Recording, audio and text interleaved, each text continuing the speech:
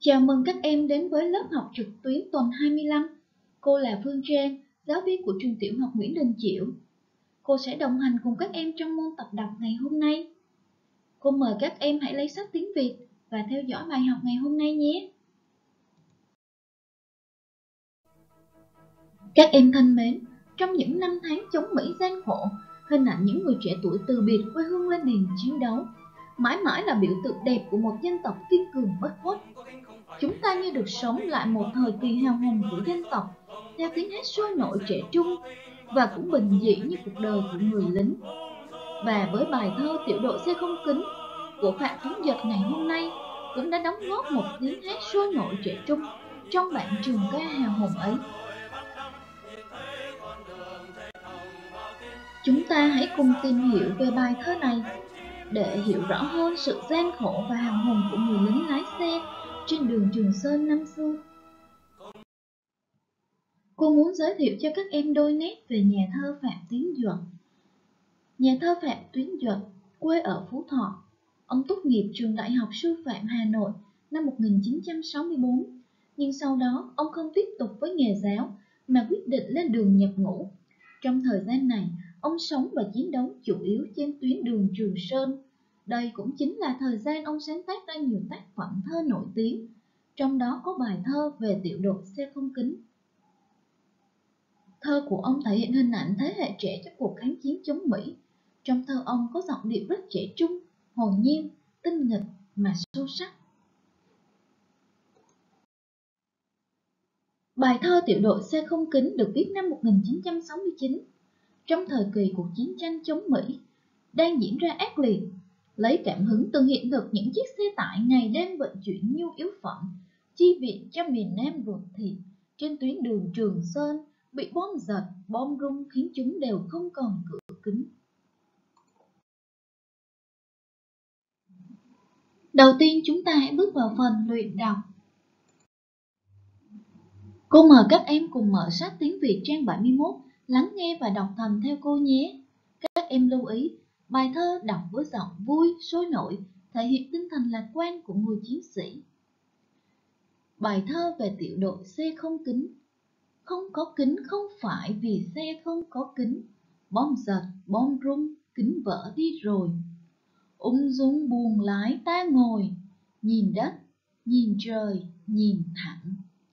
Nhìn thấy gió vào xoa mắt đắng, thấy con đường chạy thẳng vào tim thấy sao trời và đột ngột cánh chim, như xe như ùa và buồn lái không có kính, ư thì ướt éo mưa tuôn, mưa xối như ngoài trời.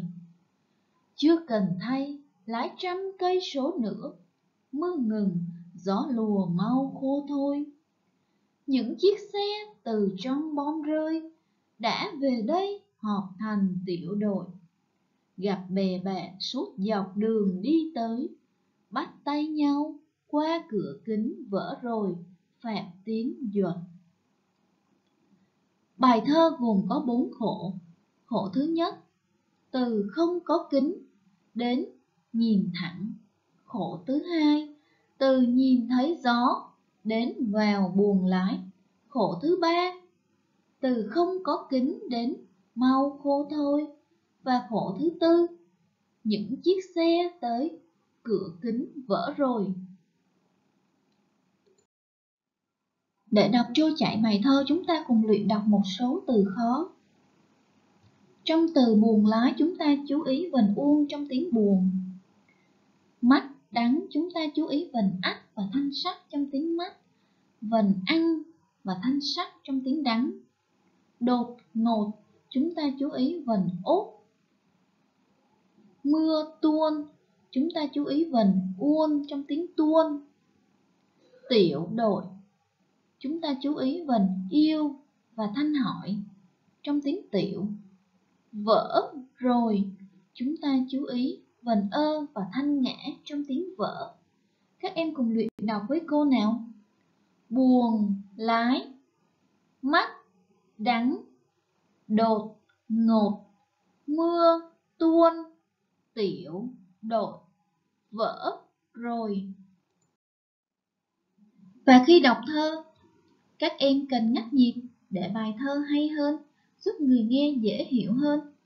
Cô có ba dòng thơ sau. Cô mời các em đọc nhắc nhịp theo cô nhé.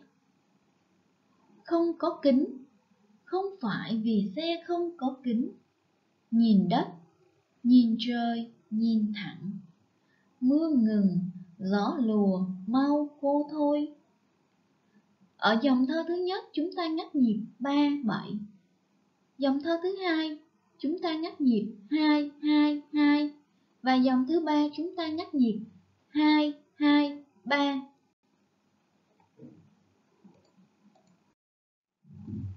Cô mời các em mở sách, đọc phần chú giải. Tiểu đội Tiểu đội là đơn vị nhỏ nhất trong quân đội, thường gồm từ 6 đến 12 người.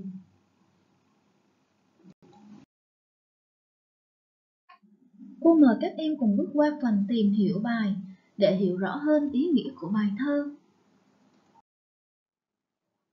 Trong bài thơ, chúng ta nhìn thấy hình ảnh những chiếc xe không kính vì bị bom đạn, như tái hiện lại một hiện thực khốc liệt của cuộc chiến tranh thời bấy giờ.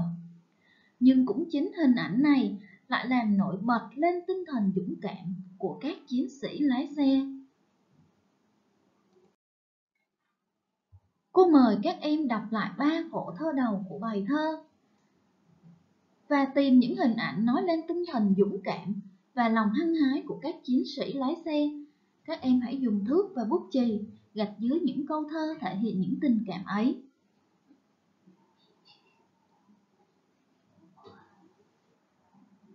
Các em thấy ở khổ thơ đầu tiên, qua câu thơ Bom giật, bom rung, kính vỡ đi rồi. Tác giả đã chỉ ra được nguyên nhân vì sao những chiếc xe không có kính, đó chính là bị bom giật, bom rung. Nhưng những tàn phá khốc liệt ấy không làm cho các chiến sĩ lùi bước, ngược lại qua hai câu thơ tiếp theo. Ung dung buồn lái ta ngồi, nhìn đất, nhìn trời, nhìn thẳng. Đã cho ta thấy tinh thần dũng cảm, hiên ngang, làm chủ hoàn cảnh của các chiến sĩ. Ngoài ra, ở khổ thơ thứ ba, có ba câu thơ cũng thể hiện tinh thần vượt lên sự khó khăn, khắc nghiệt của thời tiết mưa bão ngoài chiến trường. Không có kính, ư thì ướt áo, mưa tuôn, mưa xối như ngoài trời, chưa cần thay, lái trắng cấy số nữa. Những chiếc xe không kính đã gây ra rất nhiều gian khổ cho người lính lái xe. Nào gió, bụi, mưa bão, ướt áo, cay mắt. Nhưng các chiến sĩ vẫn nhìn thẳng, nhìn vào thẳng vào gian khổ. Một cái nhìn rất trang nghiêm, bất khuất, tập trung cao độ, bất chấp nguy hiểm, vẫn hăng hái, tiến lên phía trước. Để có thể vượt qua những khó khăn gian khổ, một phần lớn chính là nhờ tình đồng chí đồng đội của những người lính lái xe. Vậy những câu thơ nào cho chúng ta biết điều đó? Các em hãy dùng thước và bút chì, gạch dưới những câu thơ mình tìm được. Các em có cùng đáp án với cô không? Đó chính là bốn câu thơ. Những chiếc xe từ trong bom rơi đã về đây họp thành tiểu đội. Gặp bè bạn suốt dọc đường đi tới, bắt tay nhau qua cửa kính vỡ rồi. Chiến tranh Tưởng chừng là khó khăn ngăn cản con người gặp nhau nhưng ở đây, chiến tranh đã trở thành cơ hội để những người lính lái xe tụ hội lại, trở thành bạn bè, truy kỷ của nhau. Cùng nhau về đây từ bốn bể, trở thành tiểu đội, cùng đứng lên chiến đấu để bảo vệ Tổ quốc. Hình ảnh Gặp bè bạn suốt dọc đường đi tới bắt tay nhau qua cửa kính vỡ rồi.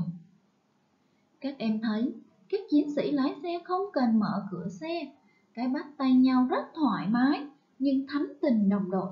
Theo em, cái bắt tay này có ý nghĩa gì?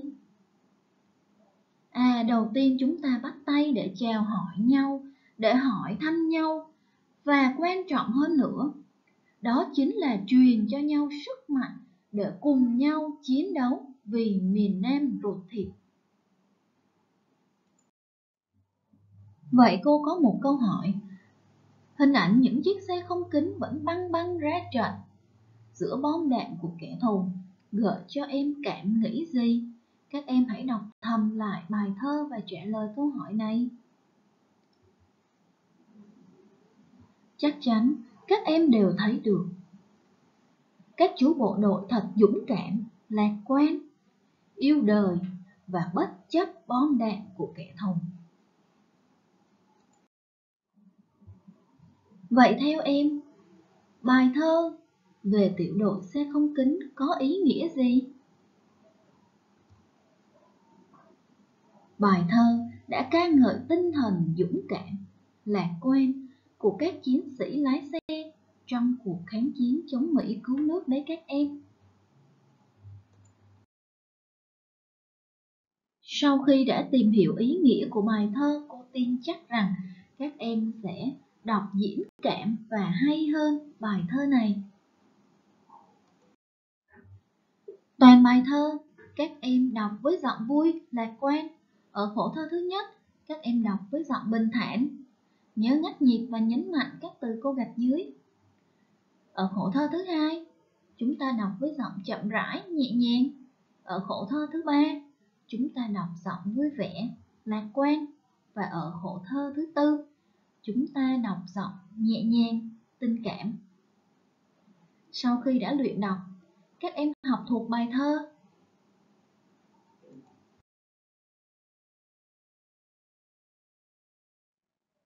Bài thơ đã khép lại, nhưng hình ảnh những chiếc xe không kính và đặc biệt là hình ảnh của các chú bộ đội dũng cảm. Lái xe băng băng ra chiến trường dường như vẫn còn vang vọng mãi trong lòng chúng ta. Và tinh thần ấy đã trở thành phẩm chất của các anh bộ đội cụ Hồ. Đến ngày hôm nay, Đặc biệt trong tình hình dịch bệnh Covid đang hoành hành, thì các chiến sĩ bộ đội lại đứng lên chống dịch cứu dân. Đặc biệt, trong giai đoạn toàn thành phố đang thực hiện giãn cách theo chỉ thị 16, thì trên từng con phố tĩnh mịch đến lạ thường các lực lượng bộ đội công an dân quân vẫn rảo bước tuần tra trên mỗi cung đường ngõ hẻm. Bất kể ngày đêm mưa nắng, các chú bộ đội vẫn cùng các lực lượng khác thầm lặng công việc đứng chốt, kiểm soát chặt chẽ người ra đường. Dù hiểm nguy hy sinh, các chiến sĩ vẫn kiên cường, sẵn sàng cống hiến để chống dịch cứu dân.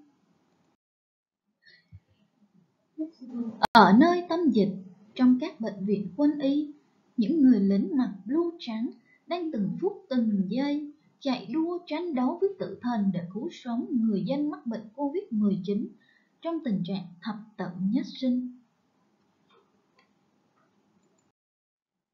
Cuộc chiến chống dịch Covid vẫn còn rất cam go và những chiến sĩ quân y vẫn đang ngày đêm nỗ lực vì mục tiêu không để ai bị bỏ lại phía sau trong cơn hoạn nạn này. Vậy để tỏ lòng biết ơn các chú bộ đội, em cần làm gì? Các em thân mến, các em chính là tương lai của đất nước. Cô mong các em luôn ghi nhớ công ơn của các chiến sĩ đã dũng cảm chiến đấu và tiếp nối truyền thống tốt đẹp ấy, thi đua rèn luyện đạo đức và học tập để trở thành người công dân tốt, góp phần xây dựng đất nước Việt Nam thân yêu ngày càng giàu đẹp hơn. Tiết tập đọc của chúng ta đến đây đã kết thúc rồi. Các em hãy luyện đọc diễn cảm học thuộc lòng bài thơ và chuẩn bị cho tiết tập đọc tiếp theo. Cô tạm biệt các em.